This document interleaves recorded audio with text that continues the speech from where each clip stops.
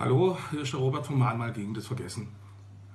Ich hatte soeben ein Gespräch mit dem Carsten Hempel und heute ist was Unglaubliches geschehen.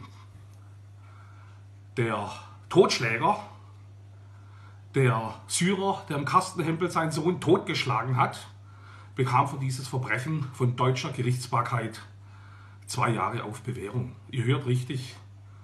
Einen Deutschen totzuschlagen, bekommt man zwei Jahre Bewährung. In Deutschland gibt es Urteile, das kann ich euch versichern.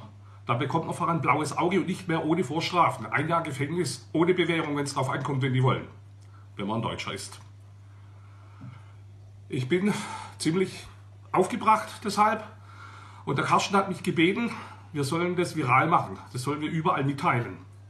Ich bitte euch, teilt es. Auch in Zeiten von Corona ist es extrem wichtig, was hier abläuft.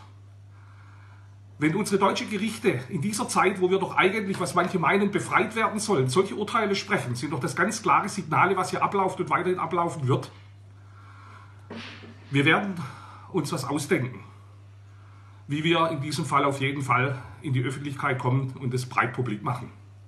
Bitte verteilt das, bitte teilt es jedem mit, was hier in Deutschland abläuft. Wenn ein Syrer einen Deutschen totschlägt, was ein Unfall gewesen sein soll, zwei Jahre Bewährung.